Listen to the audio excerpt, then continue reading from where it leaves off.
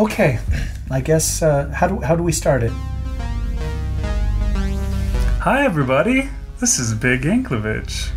And this is Rish Outfield, and happy Halloween. Yeah, it's very Halloween esque today in here. This is this is interesting. Yes, we are uh, actually recording a place we've never recorded before. Maybe no one has ever recorded before. Ooh, that's good. You have to keep that up. it's good stuff. This is our Halloween episode, and I have been super excited to bring this to you.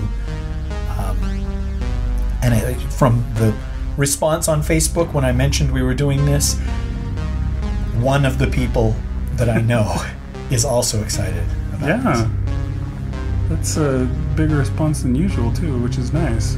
I guess Halloween really brings them out. Yeah, sadly, you were not one of those people that was really excited. Do you want to sort of set the stage Okay. for people of what this episode is going to be, uh, or you know? I will do my know? best. I mean, you know more of it because it's your thing. Yeah. But uh, okay, so this is our special episode. Basically, we um, we're we're recording on location. We I actually packed up all of our stuff because we wanted to get the best recording that we could. Often we just use the Zoom, but today I brought all the good stuff, the the, the high quality mics. Big heavy mics, the nice ones. We're in the middle of the room. Oh, wait, I didn't want to give away where we were yet, uh, or uh, or should I just go right ahead? Well, we got to give it away at some point. We're, yeah, we're on location. We got the nice stuff because we really want to get a good recording, just in case. Yeah. What was that? Oh, don't start that yet. That wasn't. Oh, and okay. What? That was just you messing with the cord. Okay. That was sorry. me pulling the cord. Yes, yeah, I've heard about you and pulling the cord. uh, was the joystick that I like to handle.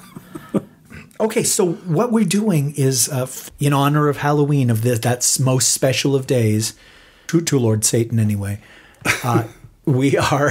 Maybe I should uh, watch what I say. Huh? Yeah, seriously. We uh, are recording from a genuinely haunted, well, purported to be haunted house. virtually haunted house. Virtually? Uh, what's the other thing that they mean? Uh, The opposite of literally. That uh, Figuratively. Figuratively. ha- Yeah. I don't think that What works. people, yeah, neither of them do really. I guess purported is better. Uh, ostensibly haunted house. There you go. Okay, so I've, t- I've talked to you guys before. If you have ever, not if you have ever listened to the show, if you've ever listened to the show, you've heard the word chalupa and that neither of us have confidence in our writing and that Big had lots of sex when he was younger. But if you've listened a lot to the show, I was having sex in high school. that's right. Haven't done that one in a long time. No, we had to retire it. It just mm. Joey and the rest of the cast of Friends got a little old. they have. Isn't that weird? Oh, poor Courteney Cox. She's had uh, what do you call it? Um, Double bypass, no, the facial uh, reconstruction. no. Well, facial reconstruction is what you have after an accident. She's she's Oh, had okay. some Plastic work done, surgery. and then yeah, immediately because it it never looks right. Right. Immediately she regretted it and said, "Oh, I shouldn't have done this, and I should have aged gracefully and all that stuff." And I wonder though if suddenly she had looked thirty again. She would have been like, she yeah, would've- no, this is right. No, yeah, I, that's that's right as rain. Anyway, gosh, I'm sorry, guys. I've I really want to stick to the. I was going to complain subject. about the fact that Jennifer Aniston is somehow pregnant. Is she really? That's what I heard. I think my wife told me that. She's, She's, like, older than us. dude. yeah. How can that be? Like, Bridget Jones' baby or something like that. Nobody wanted to see that either.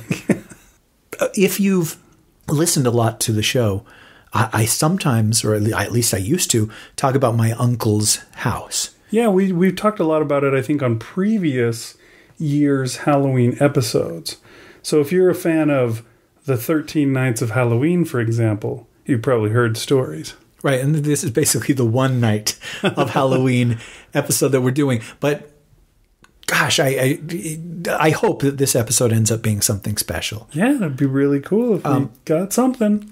But yeah, to make a, a long story short, they the, they moved into this house five years ago, four years ago, I don't know when, and he was able to get the house cheap because nobody wanted to buy it. He was able to get the house really cheap because nobody in the neighborhood wanted to buy it. And I guess there's such a thing as full disclosure that real estate people are supposed they're they're required to tell you if there's been damage to the house. They're required to tell you if something amiss has happened in the house. they're not allowed to, to conceal that anymore. Like so that they, somebody had an episode of explosive diarrhea or something. Yeah, well, I mean, it's just like okay, this bathroom was once filled with dongs. You know, you don't you don't want them to know that, but apparently legally you have to disclose that to the potential buyers. And I guess what happened is, and I don't know even how how many years ago it was. I family lived in this house, and dude, I feel weird saying it in this house. Yeah, it's it's, it's kind of creepy to give the history of the house in the house. It, it, wasn't such a big deal when we were just sitting in my car parked somewhere, uh, heavy petting. But uh, uh, wait, wait, I'm sorry. What? Nothing. Go on. Uh, but but I suppose that the real estate agents have told this story in this house before, yeah. and so it's not so weird that I'm doing it. But a family lived here, and there was a son, and I I don't know if it was drugs. I don't know if it was mental illness. I don't know if it was PTSD and you know he had been in the military or whatever. But he had a breakdown or a, you know he snapped. I mean, hell, it could have been voices talking to him that told him to do this, but he. That would be mental illness, I think. Oh, unless you mean there was a previous something even before that. This house maybe even has a longer history. Okay, that's exactly what I was getting at, but I don't know. I just I, ooh, I'm scaring myself. I love this. This is this is why I wanted to do this episode, guys, is because the ambience, the I mean, something about being here makes it more real and yeah. makes it more. It's too bad we don't do a video podcast because then you could see, but that's not our thing. So sorry. And yeah, people have asked us to do a video podcast. This would have been the one. Yeah, this, it would have been, but yeah, no. Um, he broke down and he got a gun. And I don't remember how I told the story before. I don't. It might have been a shotgun. It might have been a rifle. It might might have been a pistol. I don't know. But he went to his mother's bedroom where she was sleeping, and he shot her in the bed. He went to his little brother's room and the little brother was a little kid, like five, six something years old, and blew him away, shot him, and then he went down to the basement uh, and killed himself. And I don't know. Gosh, I, sh- I wish I had researched this a little bit more. I don't know if the neighbors heard the shots or if it was one of those where two days later people wondered why nobody had seen this family and they went over uh-huh. to investigate. But anyway, that happened in this house. And so my uncle was able to get it. Yeah, when it went on the market after that, it was not uh, not getting scooped up like hotcakes. Yeah, I think it sat for a year or, or more empty. And the owners were just like, you know, just whatever, any offer that can be made. Anyway, the, my uncle heard about the house and said, I, I, you know, I, I don't have a lot of money, but, I, you know, I'll offer this uh, and the real estate agent said, oh, you know, well, I'll take your offer to the the owner. And John, my uncle John, said to the real estate person, "Okay, but one thing, my wife can never know what, what happened. happened. My wife can never hear the story that you told me. Um, otherwise, she would freak out and she would say, "No, we can't. We can't live here." And so, for they moved in, and for years, she lived Oh my gosh, did you hear? That was a weird noise. What was that?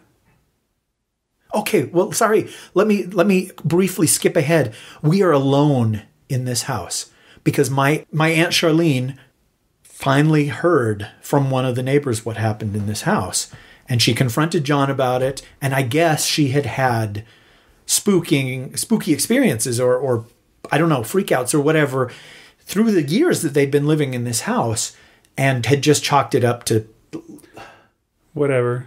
Well, Swamp to, gas. to the house settling or whatever, like uh-huh. whatever that sound that just was. I don't probably just I don't imagine that that was a ghost, but once she heard the story from the neighbor, she was just like that. That wasn't the house settling or whatever. That there was a reason I was hearing those sounds. It's just like we are out of here. We are not living here anymore. And so they left it's not even in a week. It's six days. It'll be a week on Thursday. They left this house, and so it's still got like the furnishings and stuff. They just basically bought, packed up their clothes and toothbrushes and uh, you know that kind of stuff. There's still food in the fridge and all that stuff. And Which I is guess good John because I'm planning on going by there later. Anyway, they're going to put it on the market as soon as they got all the stuff out. But I said to John, I was just like, well, before you sell it, we've got this podcast, my friend Big and I, and we And Halloween, and Halloween is coming we need up. an episode. I mean, it was it was perfect. It was kismet, you know. I was just like, could we do an episode where we would go to the place at night and and do an episode? And he he was weird about it, and I wondered if he doesn't know what a podcast is, or if he thought there was something kinky going on, because he's just like, oh, you sure you want to spend? I, I don't know, man. You you wanna- guys are just going to go there and do some heavy petting, aren't you? like we do in the car when we're recording. but yeah, I could tell that he he was sort of on the the fence of whether he should let us do this or not. And and I said, well, well, dude, what's the problem? Would you would you want to be there as like a chaperone or as like a special guest on the show? And and he and you can tell some of the stories that have happened in this house and he he wouldn't do it he's like absolutely not and i said but john you've told me tons of stories what if i just brought the microphone over to your house uh, well to the the apartment they're staying at his boss has two places because he got divorced and split it up and then she went and found some other dude and is living with him and so he currently maintains two places and so the family is there uh, and I said, "Well, John, I'll just bring a, a microphone to your house, to that apartment." and the house here. yeah, you know what I'm saying, though. Uh-huh. And he wouldn't do it, and I don't get it because I've told you he's told me dozens of stories about this place. Right. He loves to tell the stories, and I mean, I, I always kind of got the impression that he enjoyed trying to scare me with the stories and all that. But now I'm wondering uh, maybe I'm wondering if if maybe the stories were made up or I mean why what would change? Why would you not want to tell the stories in a uh, to other people? I, I don't know. Maybe you know. Maybe he finally got found out by Charlene, and so he's all worried about the extent of that kind of stuff getting out. He doesn't want you know. The, here and there, people that we know actually listen to the show. I mean, it's really seldom, but you know, sometimes you don't want to. You know, put it out, out in stone, put it out there on the internet. You know what I'm saying? I mean, that's a No, that's and a the fear that both internet is forever. That's a good point. say. Yeah, it's possible that you lose credibility if your employer hears you talking about believing in in spooks and stuff like that. See, I I just used the word spooks, which is a racial slur, and somebody could say, "Hey, you know, we've got you on tape saying that you can never be president now." Well, sorry. I guess I'd have to say slightly more, and I could still be president. Uh, sorry, let me change the subject. Yeah, Oh, that's, what- that's too scary of a subject to Yeah. be on. Let's get away from that. anyway, he he refused, and and it's too bad because I thought, well, we'll have a lot of content for this episode of basically just John telling stories about this house. Mm-hmm. And sadly, what's going to have to happen is I'm going to have to tell you a couple of the stories. Although I, I forgot, I've got my cell phone right here. Okay, this is me setting my cell phone down. Charlie, my aunt, Charlene, is.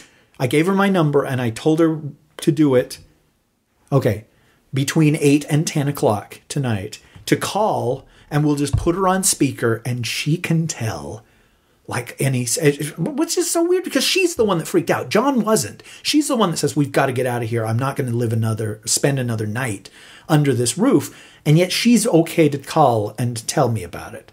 Yeah, that is interesting.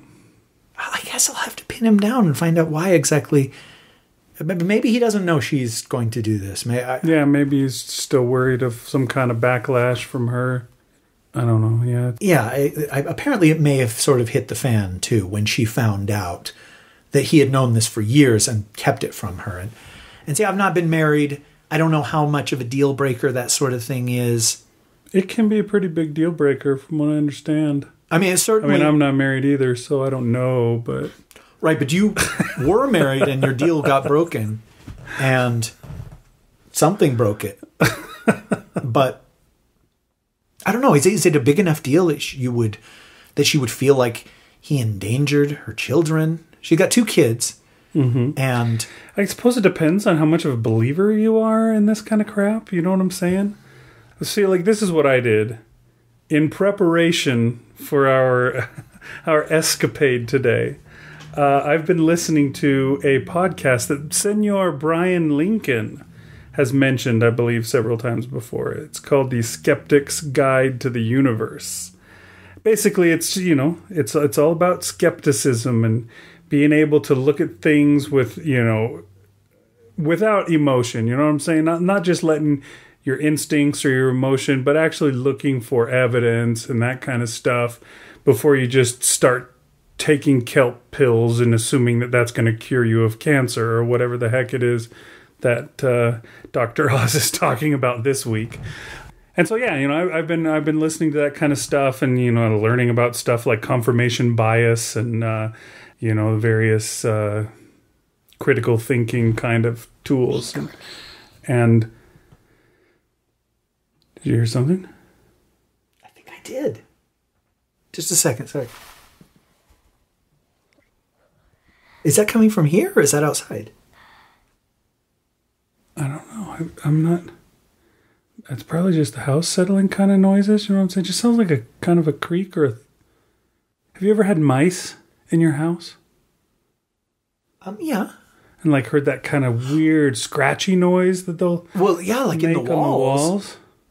But that's such a tiny little noise. This sounded like, and again, I, am I feeding my own delusion? it sounded like footsteps on Uh-huh. the stairs. Yeah, see that. Now we're you and I we are in the main room. What do you, would you call this room? The living. the living room. Okay, I guess. we uh, live here. but the but we're on the dining room table, so maybe this is the dining room. I don't know. okay, but it's, just one big room. yeah, it's it's like a great room. I think they call those great rooms. Yeah. I think so. I'm pretty. I'm pretty sure I'm not I making that up. remember uh, your ex girlfriend's bedroom was was known as a great room for Mm-hmm. a long, long time. It's because I was there a lot. The uh, but we were just sort of in the center of the house, and it's a, a, a first floor. There's no upstairs. It's just one floor, and then the basement. And we're, geez, how far from the, the steps of the basement would you say? Fifteen feet, Yeah, it's fourteen. not far. It's, uh, you could make it in three seconds or less. And yeah, you know, unfortunately, Do you we've feel got. weird having your back turned to that basement? Well, okay, we're not stupid. We've got the lights on.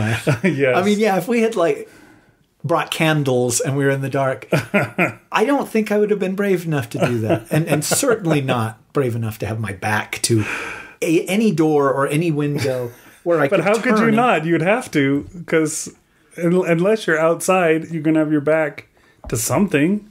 Well, there's a bookshelf right there. I I would have my I would choose to have my back to the bookshelf. Yeah, but on Ghostbusters, that's what the ghost starts with. It's floating the books around in the libraries. It will probably just push them off on your head. Imagine a big George R. R. Martin book comes down from the top shelf. Dude, you're dead.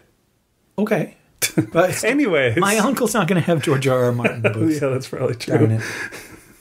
But yeah, that's the kind of thing. Like, for example, one of the things that they were talking about in a recent show was the clown epidemic Oh. thing that's been going on. Yeah, and what sucks is it has become an epidemic.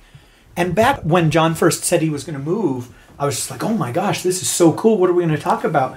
No, no, it was before that. Before I found out John was going to move, I thought, "What are we going to do for a Halloween episode for the Dunesteef?" Uh-huh. And there was this article, and I still have it on my phone. And I was going to read it because it was from like a month ago, the very first time this Right. shit stuff happened and yeah i really i wanted to share it with you because it was so creepy and it was anomalous and it had happened in Some town in Iowa or something. exactly and i thought oh my gosh this is the coolest creepiest story. And i was going to read it and we were going to do an i thought well we'll do an episode where we talk about like creepy things that happened in the news and this would be the winner one.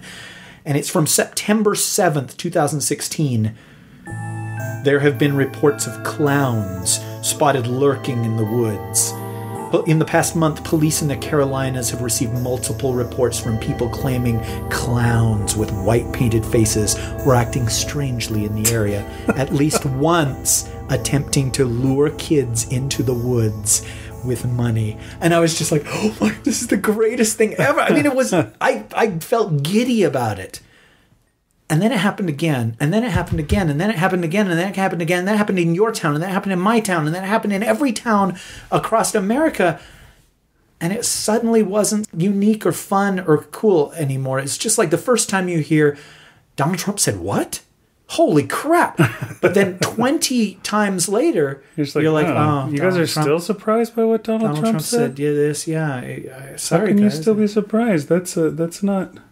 So yes, you've been listening the to clowns Skeptics. they, they mentioned it on there and then they were talking about how i mean a th- this is not part of the skeptics thing but just that i mean they talked about it on there but that doesn't have anything to do with the whole deal but anyways yeah the the, the costumes like clown costumes at costume shops because it's halloween time i mean this stuff started right before halloween when all of this stuff became readily available if it had happened in may this probably would have never happened because only so many people already own a clown costume.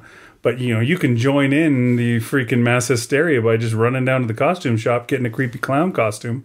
You know, it was really funny because you know, I mean, this thing's become such a thing that at, on the news, you know, we had uh, we ran a story about you know a clown sighting in the area or whatever.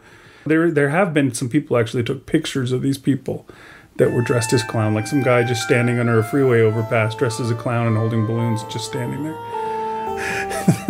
oh my gosh, I love that so much. And so we're showing these pictures and tell, oh yes, and this clown menace is taking the nation or whatever. And then we cut to like the goofy morning reporter guy, you know, the guy that like goes out and is just doing the silly story at the local amusement park or whatever. So this guy's at Are you making that noise? no, I think it's I'm hearing it from the ceiling. Okay, but there's it- not an upper floor. Is it just like wind or maybe like a tree from outside?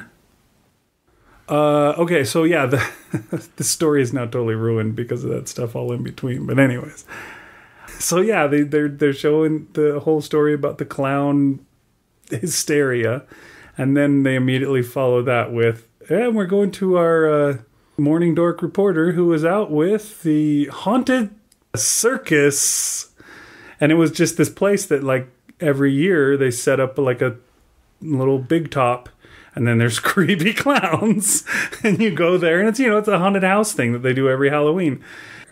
I swear it's like right after the story.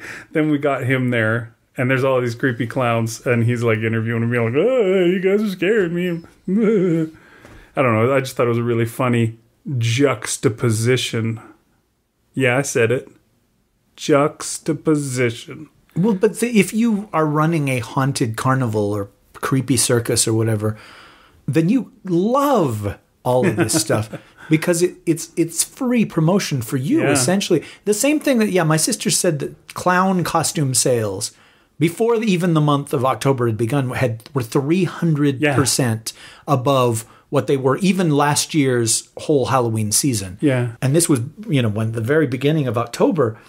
And so, yeah, that it's like if you are a costume shop or whatever, you love this. Yeah, totally. That would be awesome. But the first time I heard it, I loved it too. And I got to admit, I was tempted. I was like, yeah, I'm, I'll go out and buy myself a, a clown costume. Because what can they do? That's the thing. Like I, I was, I was thinking the same thing. I was like, you know, uh, if there was ever a hoax that I would love to get in on, this would be it. Because you just get a clown outfit and you just stand around somewhere, go somewhere odd, and just stand around. And then what? The police come up and they're like, "Hey, what are you doing?" "Oh, just standing here. And they're like, "Oh, move along." And you go, "Mm, "Okay." And then you go. They they can't like arrest you. they can't. I you- would think at this point they could. because They might, anyways, I guess, at, at this point, but they can't. There's nothing they can do. What did you do? Especially considering that the costumes sold 300% more than before. Everybody's got a costume, so they can't just say, oh, you're the guy that everybody's seen that tried to lure kids into the, with money. But see, that's what that was something that I was thinking is that you could get away with a great deal knowing that there are 25 other people out there roaming around dressed as a clown and some, one of them will get the the blame or you know just the fact that this stuff is going on is a child molester's paradise. I, Yeah, I know, probably. Maybe I don't, I'm wrong. Yeah, the, just a funny thing, you know, working in news and seeing like the uh, the titles they give these stories just cracks me up. And it, when it's just like clown threat or like clown menace, and you're just like, what menace is? What is he gonna chase you down in his big floppy shoes? Like I'm sure even a little kid could outrun a friggin' clown. Stop clowning. I can write much better copy than clown menace. Oh, it just cracks me up. Just like Don't come on. Send in the clowns. They, and they were talking about this on on so back to the skeptics thing. They were saying that like apparently like the majority of these clown sightings aren't even clown sightings. It's just like friggin' mass hysteria kind of a thing where somebody says they saw a clown lurking near the woods or something, and now all of a sudden everybody's like, "Oh yeah, I, I think did you see that? I think I saw it," kind of a thing. And uh, you know, I, I don't know if you've ever seen those like fakey ba- Bigfoot, like somebody saw Bigfoot or something. They're just driving along, and then out the what was that? Out the window, and like they had just some shot out the window, and some dude in a suit, I'm sure. They're like, I think that was Bigfoot. Oh my gosh, you could do it. You, yeah, any of that. You could get away with any hoax once everybody's freak out level gets up there. makes me think of like the um, M. I think the movie was just called M. Fritz Lang's M Yeah, with the Peter Lorre in it. With Peter Lorre as the Kindermörder. Did they uh, really call him that? Yeah, Die Kindermörder. So I, I guess I saw it in German and subtitled. Did you not see that? I never saw it actually. Oh, Just okay, well, familiar with it because I'm a film guy. Mm-hmm. Basically, yeah, you get you get the hysteria that like somebody gets a kid, and then pretty soon, you know, they've got a curfew and nobody can go out or do anything, and like the whole town, uh, once they finally find out who the guy who's doing this is, they basically just become the judge and jury. They're so mad and they're gonna and and the crime guys, like all the the mob, is upset because because of the crackdown and you know nobody can be in the streets and all this kind of stuff. They can't conduct the business, the business, Uh, Sure, you watched it in German? and so they help the townspeople catch this guy, and they're you know being judge, jury, and executioner in like some building as and this guy's trying to plead his case. Does that have anything to do with anything? I thought it did, but now I'm not sure. Well, the hysteria built up around But the yeah, clowns. yeah, the hysteria around the clowns. You can you can do. I, I, I guess just you know, as soon as it happens, somebody I saw the clown in the woods. They didn't really, or this. My friend said that he saw the clown in the woods. You know, probably all sorts of people are just making it up just because hey, it's it's the cool thing, and if you say that, then everybody will think that's even neater. Well, yeah, because you become center of attention. Of you have a story that everybody is interested in to tell. I wonder, all these clown sightings, how many clowns people are actually seeing? Yeah, how many there But- actually were? But at the same time, I oh gosh, I was I was so tempted just to buy like helium balloons and leave them tied to you know cars and parking lots and, and stuff like that. So people are like, oh my gosh, a clown has been here. So what you were saying a minute ago was was I saying something a minute ago? was no that pe- people make themselves susceptible to, to believing things, to seeing things. Yeah, and A the- mass the- hysteria, Yeah, and- the frenzy just kind of builds, and as as soon as you suggest that that thing's around, people are going to start seeing it. I think that that's entirely, that's 100% applicable to what we're doing right now. Because I went to the bathroom before, and in the back of my mind, it was like, what if when I went in the bathroom, I turn on the light and somebody is looking at me in the mirror? You know, somebody is there, like this dead guy or, or you know, his, his dead mother or some shit like that.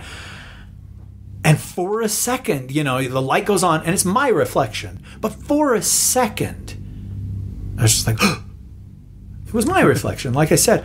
But I, you know, if I could replay that second, for a second, it wasn't. It was something else. My mind had jump started what I was going to see. It had mm-hmm. it, it had already decided that it, there was going to be something awful in the mirror. And we're at a movie, there would have been a screaming noise, right? Like, and then it would have gone away. The whole audience would have jumped for a second. So, yeah, and then laughed, and and those those are Yeah. great. Nervous titters. scream those jump scares but i was reminded as, of being a kid And you know what it's like. You know, when Oh, you're a yeah, kid, you believe in Santa Claus, you believe in the Tooth Fairy, you believe in angels, you believe in all that bullshit. And one of the things that was a big deal when I was uh, in elementary school was that if you went into the boys' bathroom And said you Biggie looked Smalls? in the mirror. We've had this conversation, haven't we? And you said Biggie Smalls, Biggie Smalls, but it, it was Bloody Mary. Uh-huh. But there were kids who had done it, and usually it was you know older kids, second graders, third graders, or whatever that were telling us about it. their kids, and they swore, and you believed them that they saw uh, the woman Yeah. appear in the mirror, or they saw a, a you know a shadow of a woman you know reaching for them on the bathroom wall or whatever. We would go in there, you know. Usually, no, I would never have been brave enough to do it as as a kid by myself. But you'd go in in, in a group of two or three or whatever, and you'd say Bloody Mary. And you're supposed to say it three times or five times or 112 times, which explains why I didn't learn to read until I was 15. And then one person would scream, whether they saw something or whether they just thought it would be funny to, to scream, or whether it jumped into their head, what if she's right behind you? And they go, ah, and then that person screams and it's a, and you scream and, And everybody, everybody would go screams and running runs out. out into the hall, screaming and laughing, and it was fun.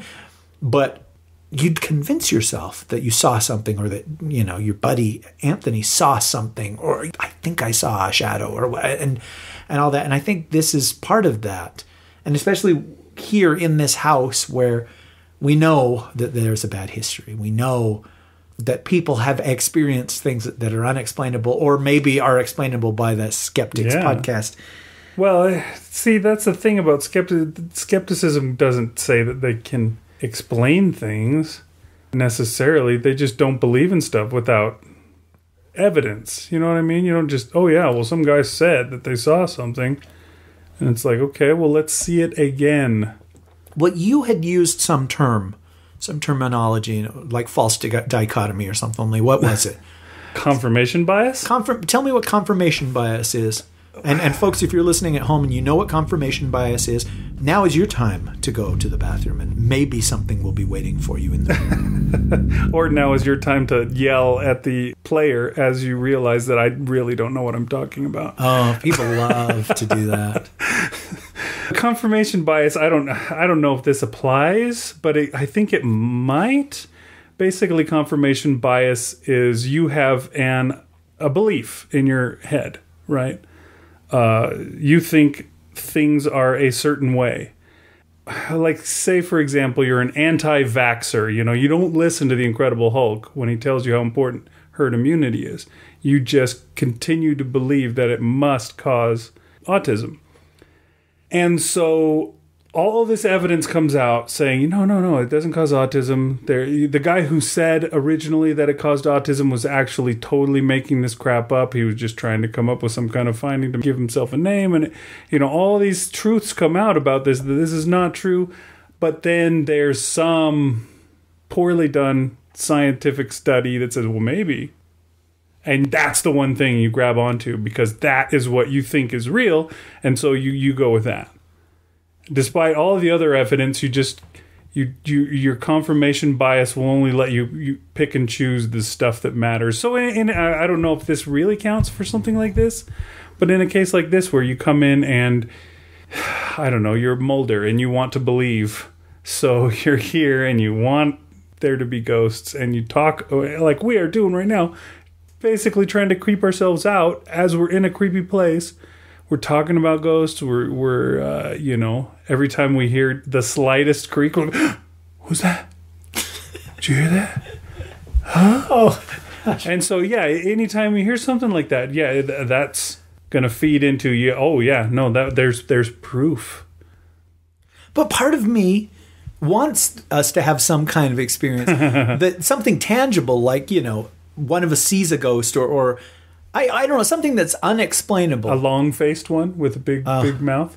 Jeez, I no, I'm going to draw the line. I, I, sexy ghost, Oh, okay. Quiet, subtle ghost. like the one I from probably Ghostbuster that floats over your uh, bed and unzips your pants. yes, those sorts of things I like that ghost. are acceptable. But the yeah, the ones with like the jaw that unhinges or whatever. The ones that look like the scream mask. Yeah, those I am. I'm afraid I, I, I are not welcome tonight.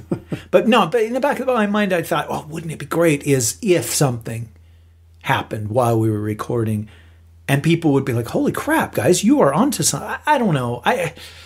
I'm, I'm, I'm building myself up so excitedly that if nothing happens, I'm going to feel like we were a failure. And I'm, I Uh-huh. apologize if really people have been down. listening for 15 to 20 minutes.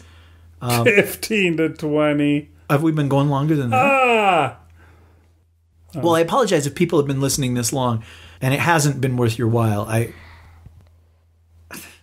see. I keep thinking I hear something, but there's nothing. wait, wait.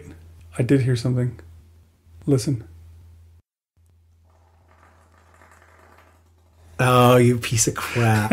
okay, well, folks, please ignore that part. Big is not taking this seriously enough. And oh, oh gosh. Oh, okay. Well, there's no way not to take that seriously. That's right. oh, that's awful, dude. Fear me. You had some kind of sausage. Fear. Yeah, it was sausage. That oh, was my stuff. What was the what was- it was the thing that you ate? It's called a piadina. Really? I don't know if that's a real thing though. Like the restaurant calls itself Italian street food. Do people? I mean, they, they put the stuff inside of like basically a burrito shell. Is that a thing that Italians do? I don't. I don't know. But uh, what I do know is when I was in junior high, I saw Trudy Wood's Piadina once. really, okay. Yeah. It was an accident, but I was happy about it. Wait. I think okay. That time I think I really heard something. I don't believe you now. I th- it's like fool me What? once. You are not to fart again. Here, take this. Use this as a butt plug. My Zoom stopped working while we were recording, and I've found a new purpose for it. Except for that, you're gonna have to use it again later and put that butt plug right underneath your nose. Imagine what it'll smell like then. Well, I don't have to imagine, sir. this room. Uh, okay, but I, I, we were talking about something before you farted. Dang it! You ruined, It wasn't. It wasn't clowns anymore, right? It was something I past think that. we've gotten past the clown thing. Oh well, we, you and were it talking wasn't about cognitive dissonance. confirmation I mean, confirmation bias.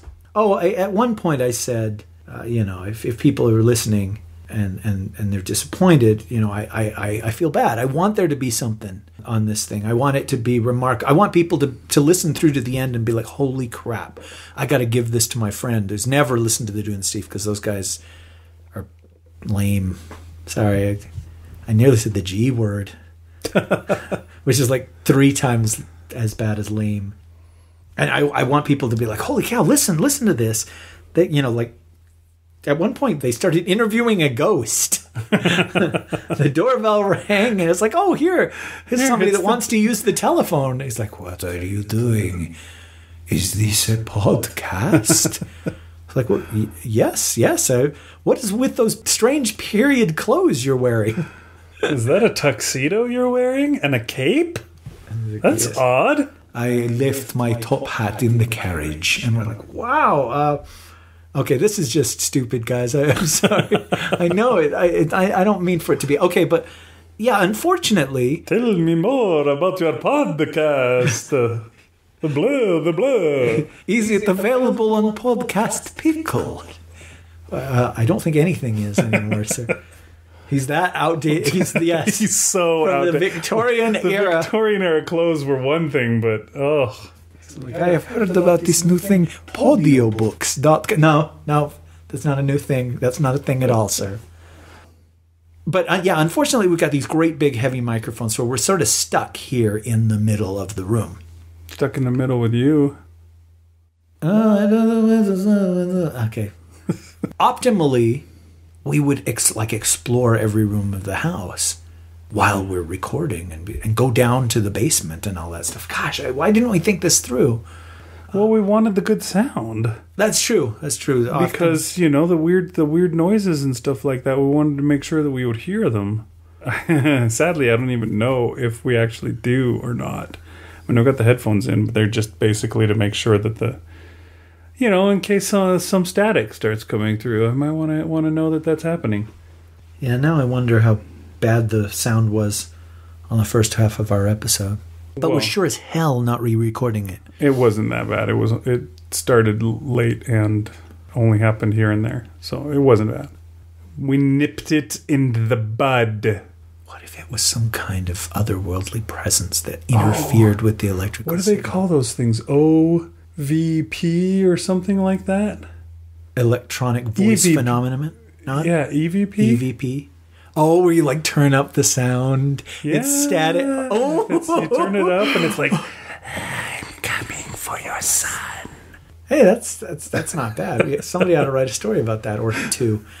But yeah, I, dude, I, for a second there, I was super super excited because you've heard those, right? I mean, I, it's on the internet, everything is on the internet.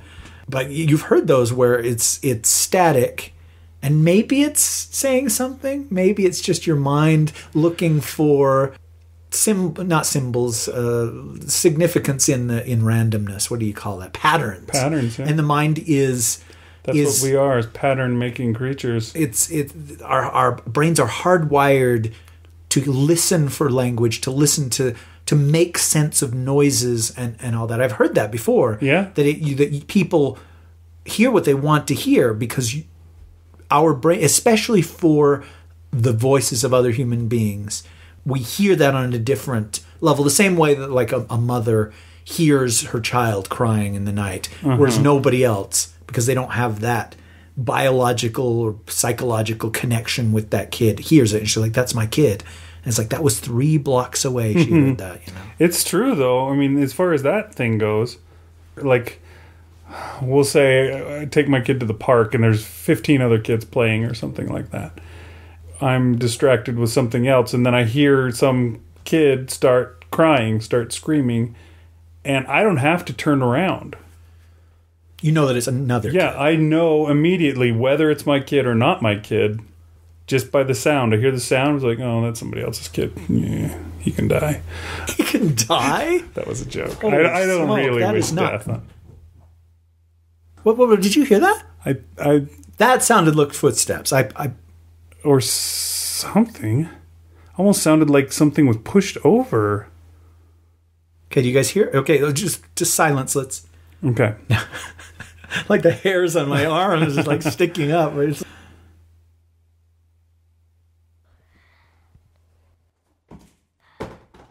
Okay, holy crap! That was that was close, dude. That was something falling down.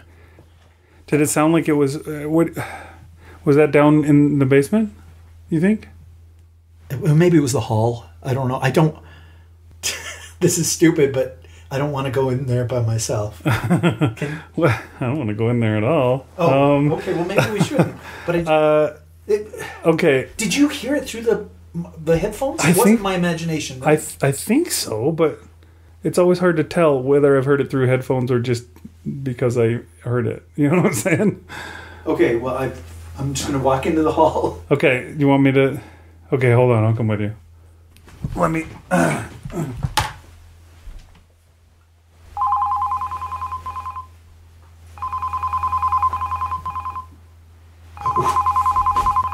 Well, it's empty. Yeah, I don't see anything. Do you think that? I don't see Was this hall. door closed? Could the door have like swung? It's a heavy door. I. Nothing is on the stairs. I, the microphones can still hear us. I don't know. I hope so. Okay, well, I shoot again, guys. I, I, I nothing was there. Have you ever watched those like ghost hunters shows on? And it's always that kind of crap. Of ooh, did you hear it? No, nothing. There was nothing. Well, the needle on my spectrometer is, uh, yeah, it's doing what it always does. You did that once, didn't you? Didn't you like go ghost hunting? Like you went to, I- and all they told you was like, yeah, sometimes when orbs appear on your camera, that means it was a ghost. Yeah, the very beginning of that ghost hunting expedition, they showed photographs of you know actual encounters, ghost, actual evidence of the supernatural. You know, if everybody take a bunch of pictures, and if any of you have success, then give, send us the pictures, and we'll use them in next year's ghost tour.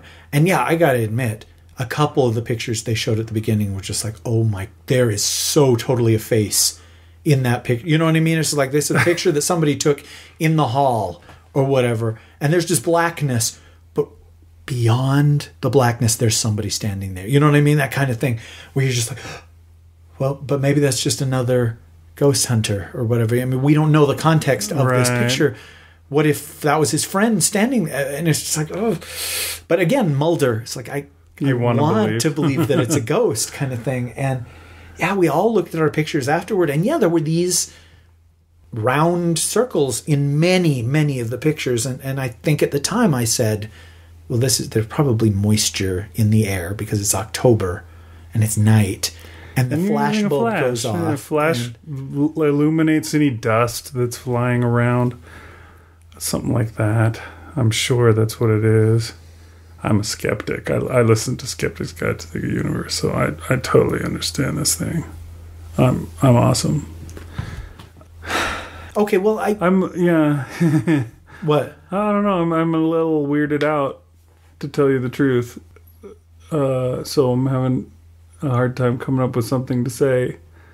Okay, well, no, that that's that's good, Mr. Skeptic.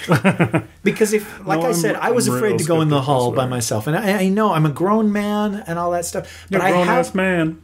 I'm a grown ass. Yeah, that's, that's great. Stop saying you're a grown ass man. Stop saying that. I. I have an overactive imagination. I've told you before. There are times when I freaked myself out. Oh my gosh! I I got to tell you, dude. This this is not even a month old thing. I was asleep, as you do at night, and I had a nightmare or I, you know, one of those things where there was a bad dream or whatever. And I opened my eyes, and it was a dark room. There's a little bit of light coming through the window from the street light outside, but you know, and, and the light from the alarm clock or whatever. But there was enough. Oh, geez, there was enough light in the room to see that there was a man standing right there beside my bed like his head was at on level with my head. So he had to have been kneeling. And it was clear enough that okay it's been three weeks since this happened but i still remember that he had long stringy gray hair and a long gr- dirty gray beard. And it's one of those things where your body just went at the fact that there was somebody standing right there. Now, again, you are the one that listens to the Skeptic podcast, but I knew there wasn't really a guy there. I saw him. My senses, I saw this guy there. And what's weird is I can still see him in my mind's eye. It was that vivid. But I knew he wasn't really there. I knew that I was coming out of my dream. Some synapses were still firing wrong, or whatever happens. I don't know. We'll ask Brian Lincoln or the Hulk to tell Uh-huh. Yeah, us how these things work. And so the I credible Hulk. and so I closed my eyes, and at the same time, I'm just going.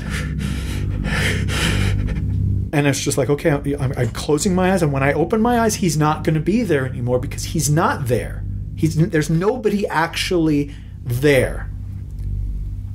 And I opened my eyes, and yeah, my, my, my nightstand was there where this guy was.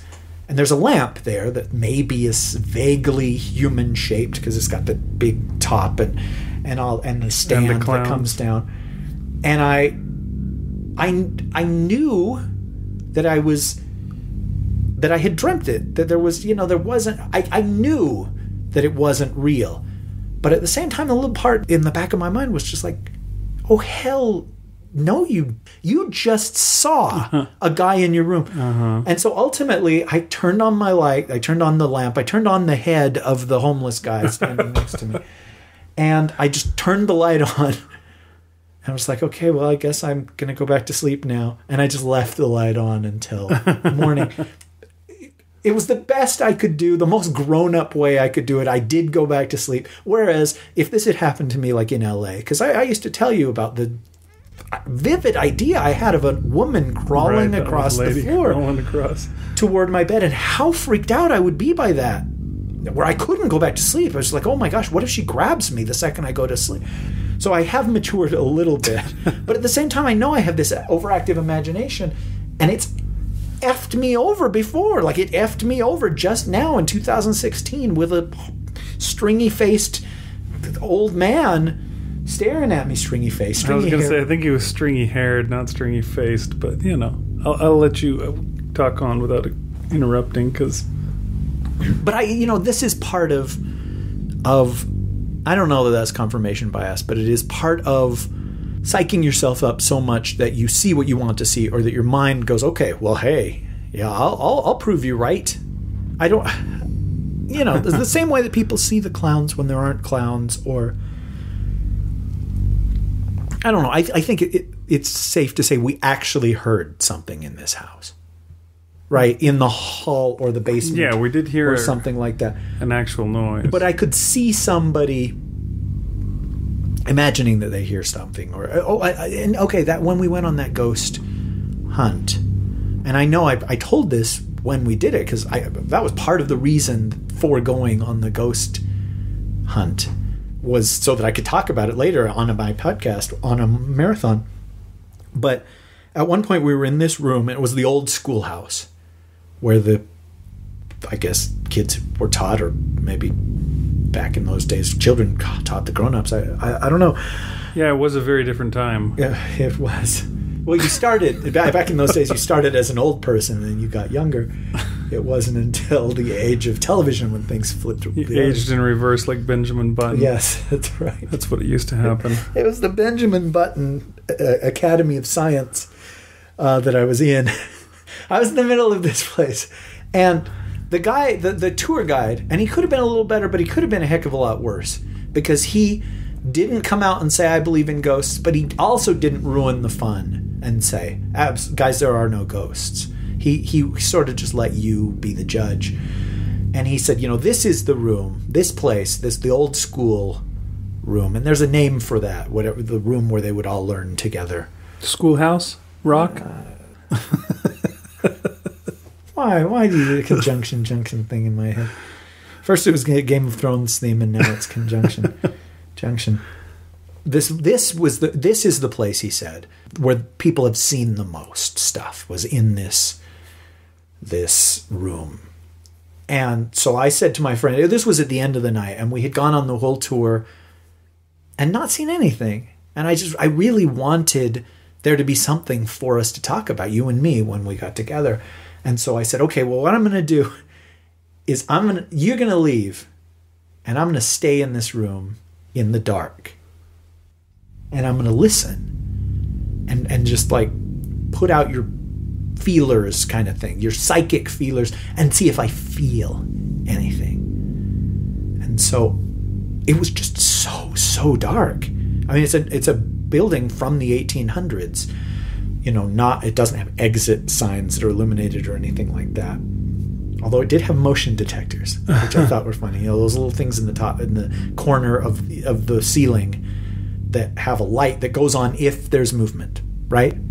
So, but I had gone into the, the center of this room and stood completely still in the dark, and those things stopped flashing, stopped lighting up. And so I was just, okay, here it goes. If something's going to happen, it's going to happen now. And a big part of me was just like, please, something happen. Something happen. And nothing happened. I mean, I wish I could say that the motion detector started flickering. Something was moving in the room, you know, kind of thing. Or that a breeze blew through or a cold spot or something. or I mean, worst of all, like you feel something breathing on the back of your neck. You know that somebody, and that's the thing. I mean, you don't sleep alone, but there is a feeling, even if you don't hear them, when you know somebody's in the room with you. Do you know what I mean? uh huh. Yeah, it's Like, kind of like, like, you wake up in the middle of the night, you know whether your wife has gone to work or not, just from the thickness of the air or something. Yeah, it's it's like a sense that that uh, people. I think it's an a, actually a real thing where I mean it's like a sixth sense where just when someone is looking at you, like you can t- feel that or something. You know what I'm saying? Like somebody's actually watching you. I don't know if there's there's it's because that means there's danger or something, but it's some kind of a thing that I think people have actually developed like evolutionarily. Although I could be just, you know, now that I'm supposed to be a skeptic, I probably ought to say that might be bullcrap. I ought to That look might be that up. pseudoscience. Yeah, but I've heard that that's a, that's a real thing. Like one of the many, you know, because people say, "Oh, yes, we have five senses." It's not really true. There's actually a lot of senses that people have. Just we don't really think about, like the fact that we can find any place on our body a, as a sense. You don't have to have your eyes open to find your elbows. You know, you can find them with your eyes closed or gouged out or anything. You know, those kind of things. I think I don't know what all these senses are, but I've actually seen a list or heard somebody talk about them or something. But yeah, I think that that may actually be one of them. The being able to feel. What is that?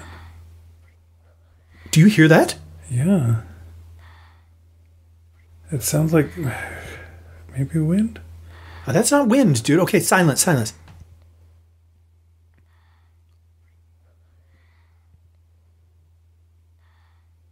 Jesus, that is something. Can you hear it through the microphone? I can't tell.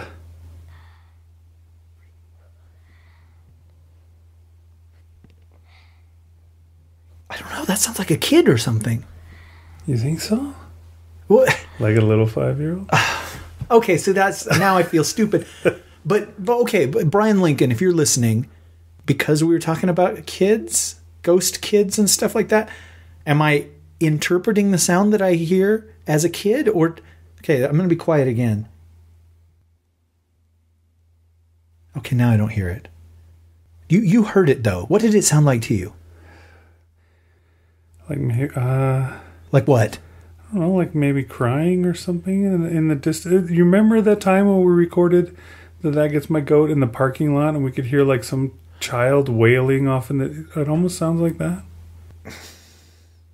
Yeah, but that was just really irresponsible parenting.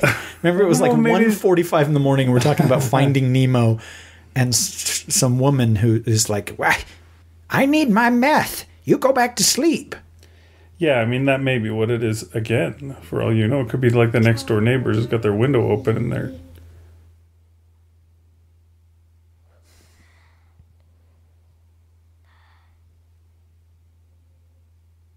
It's definitely something. I can hear something. Okay, but but here's here's the clincher. Where does it sound like it's coming from?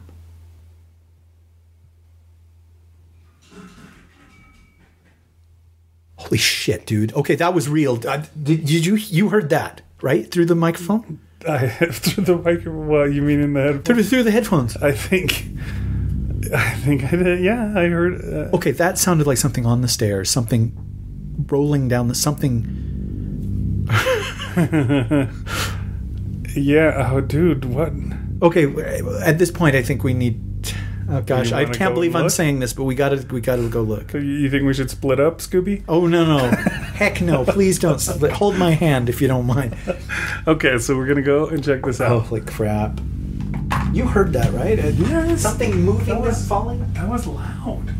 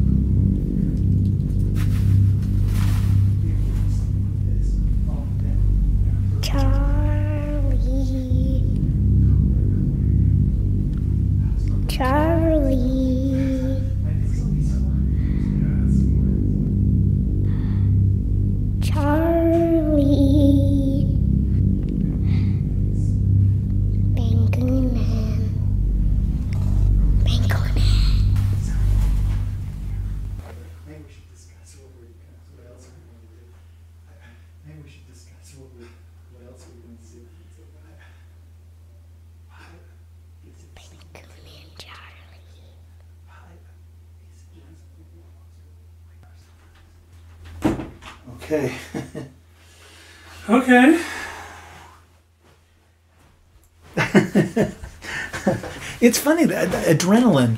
I, I, I, I feel like like we ran or did something. and it's like Yeah, you're breathing heavy.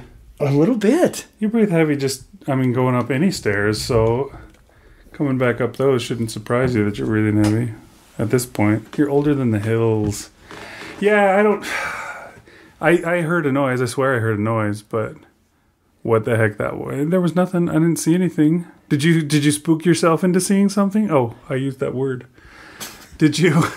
We'll have to put Did a- you- What do we? What do you call it? We'll have to put a, an explicit An warning. on explicit. Well, I think we do that with everything, so we should be covered. Uh, did you mass hysteria see a clown down there or something like? Did you see anything that you thought you saw? Because I, For a second there, I, I, I didn't see anything, but I felt like we were going to see something. I, and I know that sounds so stupid, but it's in the same way that I was saying. You know whether you're in bed alone or not.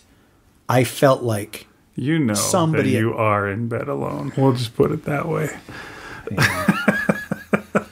Yeah, dollars to donuts, kids. I know.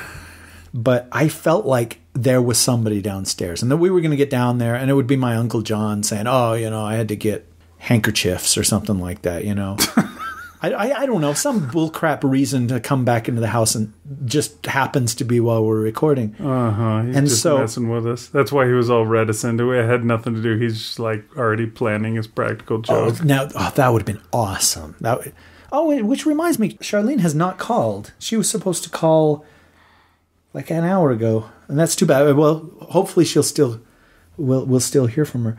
But no, we oh, so we went down there, and it was dark. Of course, basements are dark, and I'm glad that we didn't have flashlights so we could just flip on the light. Yeah, and that's another thing. If if like they had turned off the power at this house, it would be a, a totally different experience of you know having to go down there and everywhere that we flat shine the flashlight who knows what might be standing there Clowns. yeah i guess i don't know clowns are a little played out this year next year There's- Zombies. Zombies aren't played out, no, right? They're no, they're zombies uh, anyway i we turned on the lights and we went in every room right and nothing nothing was there and we, we finally turned on the light and I, I don't i didn't tell you do you know which room down there it happened in no, I don't.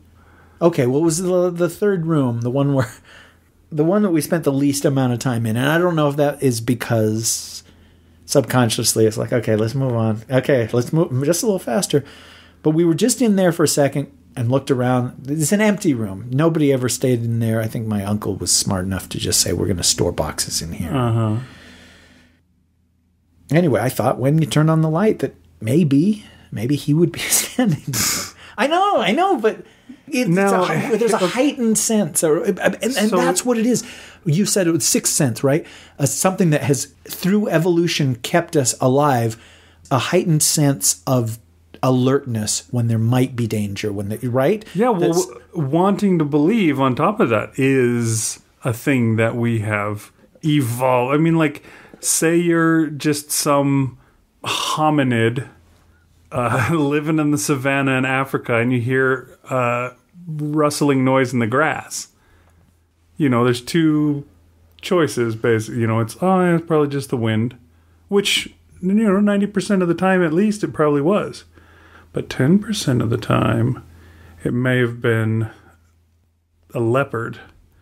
uh, Smilodon. Uh, Okay, a, A saber-toothed a saber-toothed tiger. Yeah, it's just creeping up on you, and the evolutionary cost of being wrong and thinking it's danger when it really isn't there isn't an evolutionary cost to that. You know you, you thought oh it's danger i better run. Turns out it was just the wind. What did that cost you? Well you ran a little extra. But the evolutionary cost to saying ah it's probably just the wind and it turned out to be a smilodon well then now you're a meal instead and your genes your don't genes get passed don't get on to- yeah. so So the ones that had this ability of going, did you hear that? Was that something? I think I'm going to flood my body with adrenaline right now in case I need to run. Those were the ones that those are to the ones that yeah exactly so that's probably the reason why now here's the question. I feel you like I'm in the room with Brian Lincoln. Right you say you want to see something you went on your ghost hunt and you hid out in that room and you wanted something to happen. You wanted to see the motion detectors flick or whatever, anything. You wanted to feel a cold spot. Or you wanted to see a ghost child say, Hey, uh, have you seen my slate? I don't know where I left my slate. The Teacher's going to spank me. He's going to cane me. What? There's some kind of little limey ghost. Hey guys, guys, guys, come here. Listen to this. It's it's charming. Okay, hey ghost, say uh, that you would like some more. Please, sir, can I have some more? More? You want more? Uh, it's from Oliver Twist. Okay, he gets it. The ghost gets it. But anyways, yeah, I don't know. You, you you see some ghost, then what? You know, seeing the ghost in the movies. Sorry, I saw movement in the window. It's just a moth, but Oh, moths. man. Could have been the moths from your story. You'd have to cut off your own genitals. So if you see this ghost, then what? I mean, isn't that going to be a bad thing? Like, don't people when they see ghosts go crazy? I would. I certainly would. or the ghost kills them or something like that and yet you're just saying please ghost come to me and do your worst does that not ever come across your I it it does, and but it and it- it's a dichotomy, dude. Mm-hmm. I want to see something, but at the same time, I don't want to see. And maybe my subconscious is like, okay, even if there's something there, I'm going to convince you you didn't because I want you to continue existing. I want to be insane but at the same time it's like oh gosh i want to see something i want and it's the same as these people that and, and it used to happen a lot more back in you know charles dickens days where they they want evidence of life after death. They want to know that there's an afterlife. They want to know that there's there's something else so desperately that they're willing to pay money to these mediums and these people that can see beyond the veil. And when you were talking about confirmation bias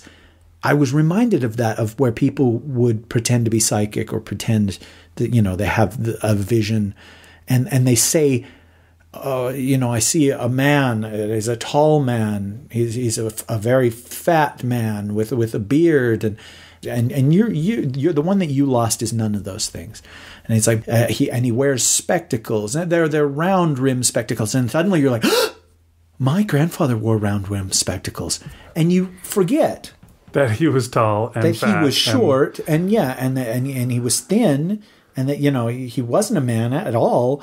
You know you forget these things. You only focus on the one thing. chihuahua. And this is that's how those mediums right. worked and how they continue bias, to work. where you remember the successes and totally ignore and forget how many things he tossed at you first.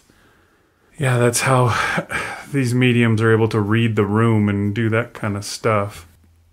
Michael shermer i have a book by that guy called why people believe crazy things unusual thing i can't remember what it was called now should i know who michael shermer is He's a skeptic, but I listened to his book. I, I, I think I meant to give it to you one time. I think I still have the audiobook of it. I should loan it to you. why people believe Crazy, silly, uh, stupid. I can't remember exactly what the title is. I, I believe it was called why people believe bullshit it might be that. by California Rish Outfield. and F you very much. Um, well, I, again, I apologize for the people to whom this is a rerun, but my uncle is a great believer in ghosts, in the supernatural. And I know I've shared with you some of the stories that he's told. And he loves to tell the stories. And because I love horror, I love Halloween. Ever since I was a kid, I'd love to hear him tell these stories, and you know, it's all the stronger because it's like these actually happened to me. He would say he tells them in the first person. It's Right. not just oh, I had a neighbor and he had these experiences, Right, which so is it's how you usually hear those kind of stories. and it's not as strong when I tell him to you as it would be if he were here to tell or you know his wife, dang it, were here to tell us what happened. But you know, I've asked my mom before, you know, her, who is his big sister, how can all of this stuff happen to him? How can these? How can it all be real? Ma, do you believe that he's seen all these things that that he's seen? Anyway, this was a really, really recent conversation that I had with her because she strikes me as really pragmatic and as somebody she's always been Listening to Michael Shermer. No, not listening to Michael skeptic. Shermer, but she's always been a, you know, uh, you know, it's just like, Mom, how do you explain the dinosaurs or whatever? It's like, well, you know, I think, and all that. And she had an answer. And so I was just like, oh, my mom knows these things. My mom's not going to, you know, fly off half cocked. She, she's, she's going to read the book. She was one of those where it's like, well, you know, I, I, I'm going to read this before I say that it's bad for everybody. I not just my aunt said Harry Potter is of the devil. I'm going to read Harry Potter and then I'll know for sure whether it's of the devil or not. And And then I will call him Lord by the time I am done. See, that's the that's the way they you know kept in believing those kind of things. Is just basically the the fear kind of a thing. Like, no, if you read Harry Potter, you will be a devil worshipper. well, there. Um, what? My father was no devil worshipper, and I'll have words with any man who says otherwise. Yes, you will be a devil worshipper by the time you are done. No, sorry, go on. Your mom, Okay, pragmatic. So my uncle had back surgery in. I swear I heard that sound again, but now I don't hear. it. Uh, he had back surgery in September. Um, we're recording this obviously in October for Halloween, and he had to spend the night at the hospital. And again, they give you painkillers, they give you some kind of medication or whatever. So I'm giving science the benefit of the doubt on this one. I'm giving Brian Lincoln a point just before has even started, just giving him a courtesy point for his side. But he said he woke up in the middle of the night and he heard a woman crying in the room behind him. You know, so he he he was in in a, a hospital room and he could hear a woman crying, and it upset him. He was trying to go to sleep, but he's just like, oh, jeez. He said the crying went on and on, and it was just like miserable, like the crying of suffering, not the crying of grief or whatever. And finally, he's just like, I cannot. Oh, fudge, I can't take this anymore. And he pushed his call button, his his um, summoning the nurse button. There's there's a, a word for it, but let's I just think say. they're called a call button. Okay, well then that's good. But the, you call an elevator with the call button. Is it the same kind of thing? I think so. Anyway, We'll call it the nurse button. he said it took a long, long time for the nurse to come in, and he assumed, well, maybe she's dealing with this woman because the woman stopped crying, and eventually the nurse came in and and she said, "What? Oh, are you all right? What what, what can I do for you?" And he said, "I'm I'm fine. I mean, I- a little sore, a little bit uncomfortable in the bed, but you've got to check in on this woman in the room next to me." because she's been crying. It feels like for hours. And the woman says, "What what woman are you talking about?" And he's like, "Well, she stopped crying now, but she's just right there on the other side of the wall, and I can hear her. Well, I could hear her, and now I don't hear her. So maybe you've fixed it. What, what was wrong with her? What's she in for?" And the nurse said, "There's no there's nobody, there's no room on the other side of the wall."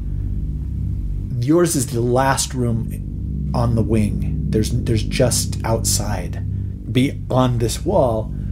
And he's like, but I no, I well maybe I heard it like through the vents or, or something like that. And she's like, no, there, there's probably nothing. Just just put it out of your mind. If you want something for the pain, we'll give it to you.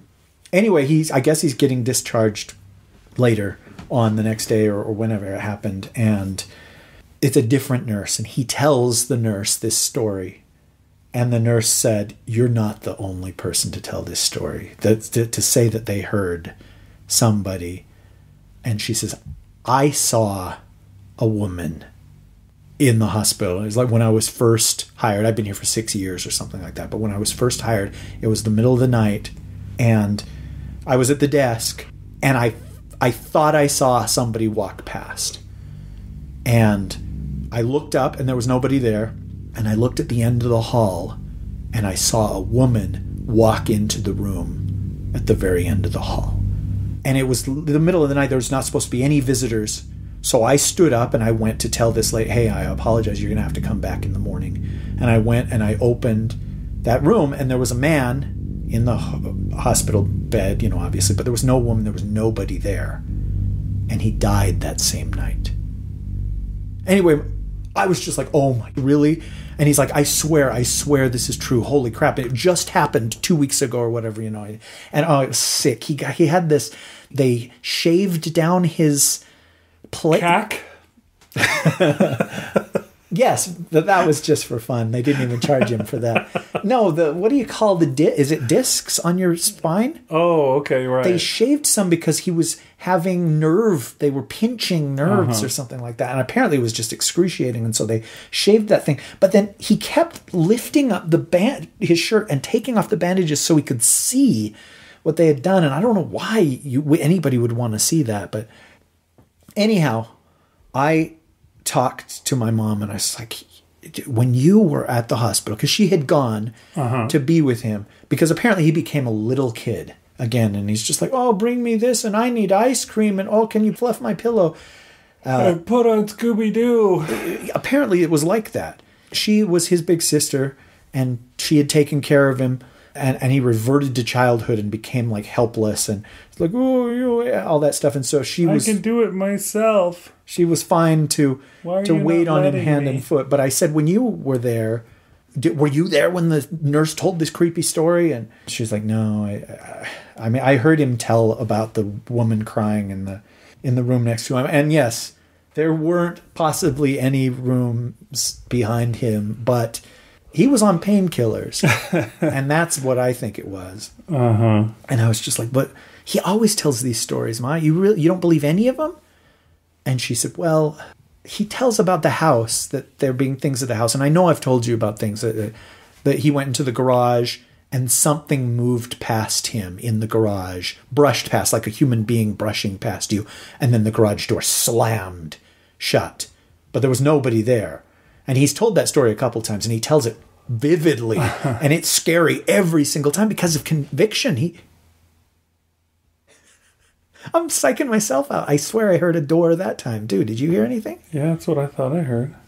You did. I thought I heard it. F you, man. not cool, not cool. Anyway, she said, okay, so so I was over there, uh, and he's told all these stories about the house, and she she stayed there, I think, three nights, because once he came home from the hospital, he was just like laid out on the couch, and there's only so much storage wars you can watch before you start to go insane. Well, then you can move on to uh, the pawn that one pawnbroker show. Pawn stars. Yeah, Pawn Stars. You know, I, I had heard that sh- of that show, or it's actually seen that show episode after episode before I ever got the title. I was like, oh, that's clever. Anyway, she spent the night there trying to help him for, I, I think, three nights or two nights or something like that. And she said um, he asked her to, to go get him something. And she passed the bathroom. And as she was walking past the bathroom, this was to go to the kitchen. She when she told it there was exactly what he wanted. It was something super specific, like you know he wanted some Tropicana orange juice or whatever. And it had to be the from concentrate or something like that. Not from Concentrate. Not from concentrate. It had to be freshly squeezed with no pulp and in a curly straw. Extra pulp.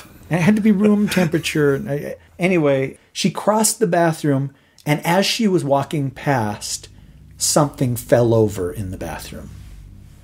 And she went to the the, the fridge and got him whatever it was, and, and came in, and she gave it to him, and then went to investigate the bathroom. And, and she said there was nothing in there, but as she was walking back to ask him about the bathroom, the plunger the big plunger with the stick fell over toward her, right there, as though somebody had pushed it toward her. She was standing in the doorway of the bathroom. And I was like, oh my gosh, really? Ma, this? And she says, so I think he probably is telling the truth. I saw this just three days ago or whatever. I think things happen in that house. And so I said to him, why would you live here? And he's just like, it doesn't matter where I go. I have these experiences. I had them when I was a kid. And my mom thinks that he has some, again, some other sense where he is able to sense things that we aren't, or they are able to sense him in a way that they don't sense the rest of us and all that. Well, although that doesn't explain why my mom Yeah, would say your mom would have toilet the plunger deal with fall the over. plunger. I don't know. I don't know if I believe in that stuff or not. But if there were ghosts and they were here with us, you know what I mean? Just like, just on a slightly different plane, well, it kind of makes sense that maybe they would notice us every once in a while, or, you know, in the same way that we would notice them every once in a while. And, and there are people that shine a little brighter that that that draw their attention and all that stuff. I gosh, I don't know. Again, I'm furious that neither of them have have called to participate in this this episode. It would have been so good. Now here's here's a quick question. Uh, that's I when I was growing up, uh, I had this best friend in like fourth, fifth, sixth grade, that kind of time. In a time time of your life when you have really no actual experience in life, and if somebody tells you something, you're probably going to just accept it as reality. They, why would they lie to you?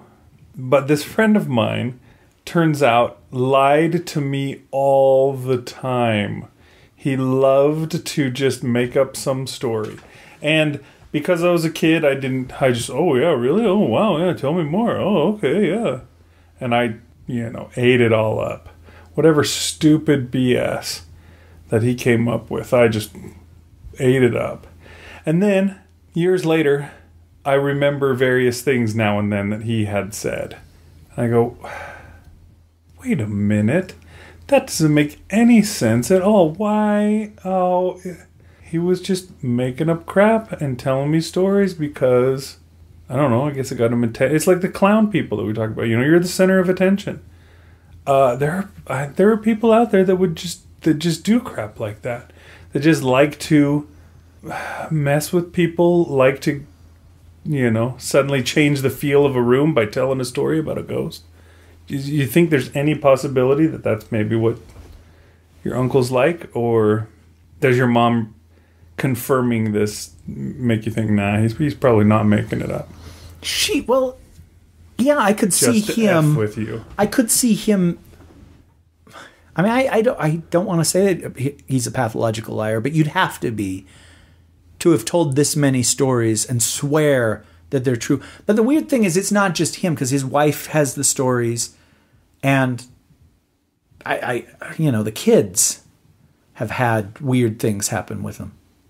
If if that's the case, then he and his wife and his kids all have it, all have this compulsion to make up stories, to lie, right? And that seems unlikely to me Okay. because you know they're and they're religious folks too. You know, where it's just like there are consequences for lying. Is there No, that religious folks? Are there religious folks that really believe that there's heavy consequences for lying? I would think that that would be part of being religious. Yeah. Like the Ten Commandments, there's don't bear false witness. But does that count? Is that lying? Or Oh, it's that, absolutely lying, right? Or is that That's how we've interpreted it, is that what today, right? I don't know. I was just curious. I just think. I mean, bearing that- the other kind of bearing false witness would be I saw Goody Anklevich dancing with the devil in the, See, the like, South Field. that's That's false would- witness, Right. but- See, that's what I'm thinking. Is you know something like that. Whereas you know just because I've I'm seriously people uh, lying is absolutely necessary for society to function. If you have to tell the truth to everybody all the time, you're gonna have no friends. And if they're all telling the truth, they're not gonna have any friends. There's not going to be any cohesion in society whatsoever if you have to be like, Eh, you do look fat in that. I'm sorry. Why didn't why don't, it's like that Geico commercial with Honest Abe Lincoln, where his wife's like, Abe, do you think uh, this dress makes my backside look big? And he's like, ah, mm, well, perhaps a little. she's like, storms out in a huff. Even Honest Abe Lincoln, I'm sure, had to say no when he was asked a question like that. Where did that Honest Abe come from? Was that like a campaign nickname that he had? I don't know. Because somebody told me that he was an independent. He was the third party n- nominate. You know what I'm saying? Uh huh. Yeah, I mean the Republican Party when he was the candidate or whatever. I think he was the first Republican ever elected to the presidency because I think it was basically a new party at the time. Well, And was it the Democratic Party and the Whigs? or something? Yeah, something like that. I don't remember what they were, but anyway, sorry. Uh, back to your. Uh, is he? If he was lying, he's religious, folks. So I it just it, it seems like guilt would have them say, "Hey, confess," you know, later. oh gosh, I, I when I told you that, that I really liked the Transformers films, I didn't really like them. I, I'm sorry. I, I, I I'm trying to come up with a really really good lie. I don't know. It, it, as far as my mom goes, I I guess she could have made up that story so I'd have something to tell on my podcast. but it's just But not if the- really my mom's what if the personality. plunger had just been put back in a weird way and just happened to fall while she and it would be more likely to fall like as she passed because there'd be a, a passing breeze or like the vibration of her footsteps or whatever is what's going to make it finally tip you know what i'm saying it's Okay, well that's the that's the skeptical point of view, and that makes sense. I mean, yeah, of course, you, the the vibration of walking past it is going to make there be some kind of movement that wouldn't happen if. Uh, but again, uh, if you're listening, the the sounds and the stairs or whatever, we didn't make those up. We didn't imagine them, but I guess it's up to us to interpret them. And right We Could we interpret them as just the wind or as a smilodon in the grass Well, we're still in the house. We've been recording all this time we haven't fled. So I guess we don't have that sixth sense of flight as, you know, with the, the creepy sound. But I feel like we've reached the end of our episode and, and I, I wanted it to be more. I wanted it to be kind of spectacular. I wanted it to get people talking and be like, "Oh wow, this is this was awesome. Thank you guys." But And you're so are you sure that your uh, aunt never called? Never is you, is your phone turned off or on vibrate it's not or something? off. It's shit. Two missed calls. Just a second. Damn it. Okay, eight thirty-four, and then nine oh three. There were two calls, and it's her number. So crap. She did call, and oh, there's a voicemail. Okay. Can we listen to the voicemail? I we brought the good mic, so I would hope we could. Okay. Isn't that the point? Um, I'm not sure how to do this. Uh, don't ask me, man. It's your phone. I know how to use mine. Okay, so I'm going to put it on speaker. New message. Hey Rish, this is Charlene. Uh, you wanted me to call you at 8:30, and it's quarter after nine, and you didn't pick up. Um, I hope you're still at the house and that everything's going all right. I don't know what going all right means to you guys. If something scary happens, that would be horrible to me, but to you two, is it just you and your friend there? Um, anyway, I'll call back in like 10 minutes, but I've got to be up early tomorrow, so I can't do this much later. Sorry. Bye. Well, that sucks because I was going to tell that story. Message mark. Okay, silence. New message. Hey Rish, it's Charlene again. Um, you're still not answering. The phone's ringing. Maybe you're down in the basement. Which means, I don't know what that means. Anyway, you wanted me to call and tell you about the experiences I've had in the house. Something you could use in your little radio show. So, should I just tell it to the machine? I guess that's what I'm gonna do. Um, so, I didn't know about the history of the house. But over the years, I had so many weird moments when John finally told me about it. I wasn't really surprised. Um, the first time I remember something weird happening was that I was home alone and I walked through the living room and I noticed the door was open. The front door. It was open and I went down and closed it. But I looked out front to see if John was home early. He wasn't. So I closed the door, went back into the kitchen, and was just cooking. Um, I even remember what it was I was working on. It was this breaded tuna casserole for Sunday dinner. John loves tuna casserole, but me, not so much. Well, I heard a sound in the living room and I said, Honey, is that you? But nobody answered, so I sort of stuck my head in the living room and it was empty. But the front door was open again. So I went down and closed it and locked it this time. But as I locked it, I was sure, absolutely sure, that someone was in the house with me. Actually, I thought it was John. He was playing some kind of trick, or just like in the garage or something. Um, I turned around and there was nobody there, but I heard something in the kitchen. Somebody in the kitchen. I walked in, and of course, it's empty, but the refrigerator door was open. I swear, just standing open, like I let it open myself. And maybe I did, I think. It's part of what living in the house was like. I would sort of justify to myself that these weird things that happened were just me being forgetful. Like when you set your keys down and they're gone and you hunt all over the place for them and then there they are where you set them down. You never think, oh, somehow they were actually gone and now they're back again. You think, oops, I'm such a dummy, I didn't see them and they were right in front of me. It's a pretty good comparison for what living there was like. I'd hear sounds, doors closing, doors opening, footsteps, the TV turning off, um, milk spilling, lights being on when I didn't leave them on, that sort of thing.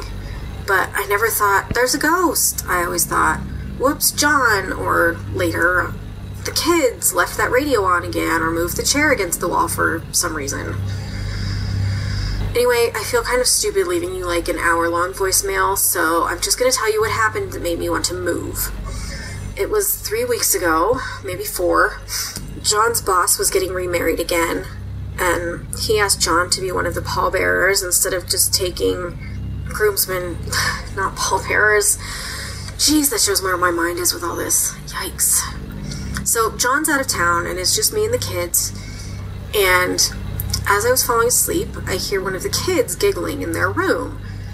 So I peeked in on them to tell them to go to sleep. And they are asleep. It's dark, quiet in the room, but knows? Maybe kids talk in their sleep. Sometimes John does legal motions in his sleep. Your Honor, may I approach? And that sort of thing. Again, it's just me rationalizing what's going on in a haunted house. But I went to sleep, and like a couple hours later, um, I heard the door to my room open. I open my eyes and I wait for one of them to climb in with me, but they don't. So I sort of looked over, and there's somebody at the foot of the bed. It's a kid, and I thought it was one of mine. So I go, honey, what's wrong? And the kid at the foot of the bed says, Charlie. My kids don't call me Charlie, they call me Mom. Besides, I know my own kids' voices, and this was something else. Someone like five or six, I'd say. I sort of froze there in the dark. Not quite panicking, but definitely freaking out. The only other thing I managed to say was hello. Charlie, the kid sort of sings to me. Oh, God, my blood went cold. I was so afraid and I wanted to look away, but ugh, at the same time, and I see this shadow standing there, this black shadow, like three feet tall, whatever height a little kid is. Um, I don't make a sound. I didn't even breathe for a minute. Even when it took two steps towards me and the dim light from outside the street fell on its face. Except it didn't have a face. There was just like there was nothing there. Ugh. My body clenched up, like when you get a shock from a hairdryer with wet feet, and I trembled. Then I was gasping and like sort of crying, and the kid was gone. It didn't turn and leave or run or walk away. It was just not there anymore, and I was alone in the bedroom. It was a ghost, I guess. I mean, I don't know what else to call it. Well, I'm not stupid. I told your uncle I wasn't staying in that house another night, and by the time the sun came up, I had packed two suitcases and started one for the kids. Oh, he tried to talk me out of it. Told me I'd imagined it. Told me I ate something and it affected my dreams. But I gave him the look my mother used to give my dad when she smelled beer on his breath. It's a very effective look. And eventually he sort of deflated and told me the whole history of the house. That there'd been murders there, and the only reason we'd been able to afford it was because some guy had killed his family and himself, and nobody else wanted to buy it. I think if you talked to him, he'd have stories too. Stories of his own that he felt like he'd keep to himself in the years that we've been living there. Um. Okay, I guess I did my part even though you didn't pick up. No worries, I kind of preferred it this way. Feels like I'm talking to myself instead of some idiot man child with a radio show.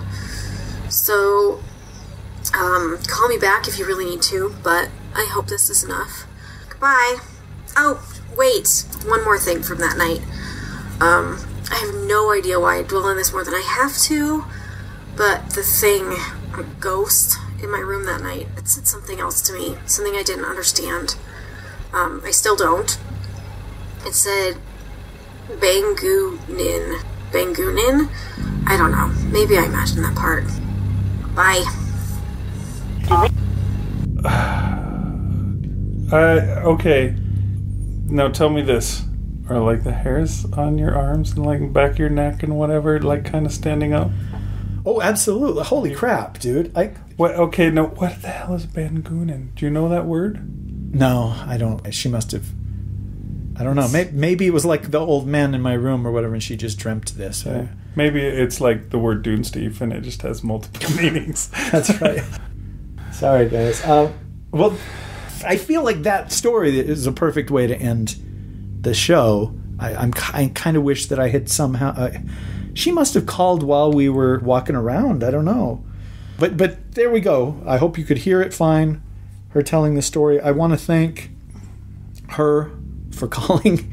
thank you for doing this tonight. Um, Okay, well, we want to thank the Kolakowskis for their help. Uh, the, the music that you heard at the beginning of the episode, Kolakowski produced for us. I think that was really neat. And uh, is this produced under Creative Commons Attribution Non Derivatives? I guess everything that we do taint? is. So yeah, no I- I taints shaved, I shaved my CAC 3.0 license. And explain to the people what that license means. It means you can share it with anyone, but you cannot change it or sell it. That's right. Believe me, we know that from experience. Well, that sounds vaguely familiar, there, sir. um, this has been our Halloween episode. Hmm, now my voice is effed up. And yeah, I hope you guys got something out of it. Uh, I'm a little freaked out, but mostly just because of that story. I, Yeah, the story was better than the time that we spent here, unfortunately. I mean, we heard creaks and clunks and, I don't know, plungers falling over in the other room or something, but No actual evidence of uh, yeah. of supernatural with us today, guys. But uh, I thank you for listening, and maybe we'll do this again next year uh, on the, the the hollowed out, burned remains of, of this house. but uh, I've been Rish Outfield. and I've been Big Anklevich. Happy Halloween.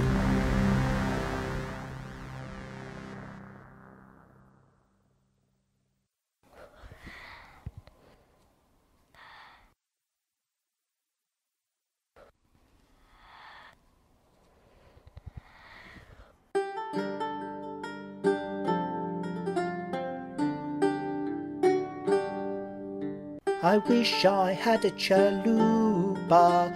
I'd eat one here with you. Everyone around me could have a bite or two. I love chalupas. Do you love chalupas? Chalupas are good. I could have chalupas. I would want chalupas right here in the woods.